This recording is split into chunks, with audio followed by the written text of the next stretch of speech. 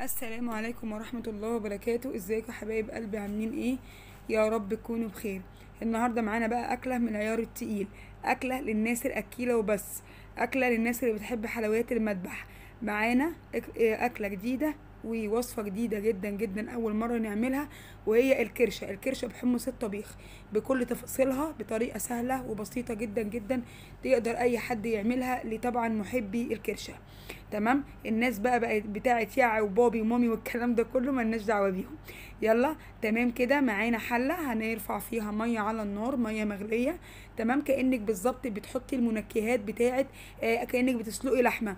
آه طماطم بصل Laura Habehen وعود قرفة وفلفل أسود معانا وبصلاية وجزراية. طبعا الكرشة مغسولة كويس جدا جدا و آه، م- آه، أنا طبعا بجيبها بتبقى نظيفه من عند الجزار بغسلها بمية وليمون وملح وجنزبيل كويس جدا ولو في أي دهون من ورا بشيلها وبقطعها قطع على قد ما انت تبقي عايزة يا حبيبة قلبي. وسيبناها بقى كده على جنب تكمل سواها ويلا بقى بينا نعمل التسبيكة الجميلة القمر دي بتاعتنا. هنجيب شوية زيت معانا وبعد كده معانا بصلاية هنقطعها رفيع جدا. عايزة تخرطيها على إيدك مفيش مشكلة. عايزة تعمليها في الكبة برده مفيش مشكلة. يا حبيبة قلبي حبيبة قلبي لو وصلتي معايا لهنا ما تنسينيش في ال like وال share وتفعيل زر الجرس عشان يوصلك كل جديد من قناتي. معانا بقى البصلة اهي يا دوبك بس تخش تصفر كده. إحنا مش عايزينها تحمر هتصفر بس. هننزل بيه قرن فلفل رومي. معانا متقطع آه صغير. لو عايزة بقى بتحبي الحاجة spicy حطي قرن فلفل معاكي. تمام spicy بعد كده معانا حوالي خلاط إلا ربع طماطم خلطينها آه، في الخلاط وهنبدأ إن إحنا بقى يلا بقى كده إيه هنظبط بقى وإيه ون ال- آه، التوابل بتاعتنا وهي اللي عبارة عن عبارة عن إيه فلفل أسود والسبع بهارات آه، بتاعتنا ومعانا ومعانا كمان كزبرة ناشفة تمام؟ ودي طبعا هتدي هتودي الطعم في حتة تانية خالص.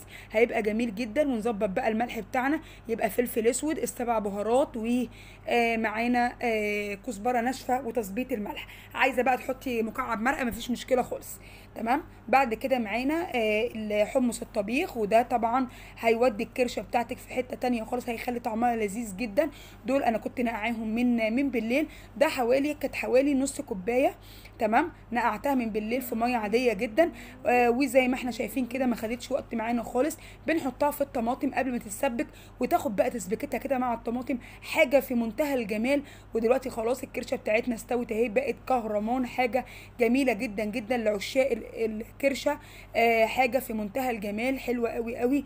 وزي العجمية بسم الله ما شاء الله. كنت طبعا أنا مسخنة مية آه لازم تكون مية مغلية من الكتل وهنزل طبعا على الكرشة بتاعتي وأسيبها بقى كده هي طبعا الكرشة مستوية. بس تاخد كام غلوة كده معانا على ما نعمل بقى الطشة القمر بتاعتنا دي. حبي- حبيبة قلبي ما تنسينيش في التعليق اللي بيفرحني عيلتي الكبيرة عيلتي اللي بعتز بيها. يلا بينا كده خمس ست توم دقيناهم كويس. مع حتة سمنة كده بسيطة عايزة تعمليها بزيت مفيش أي مشكلة يا حبايب قلبي. بس إحنا طبعا بننكهها كويس وبنديها طعم لذيذ وجميل. بعد كده معانا طبعا بعد كده معانا آه، معلقة صغيرة السبع بهارات بتديها طعم حلو قوي قوي. إحنا مش عايزين نحرق طبعا التومه تخلي بالك. لا إحنا بس بنصفرها يا دوبك بس إيه أول ما تشم ريحتها خلاص كده بننزل بيها على الكرشة بتاعتنا زي ما إحنا شايفين.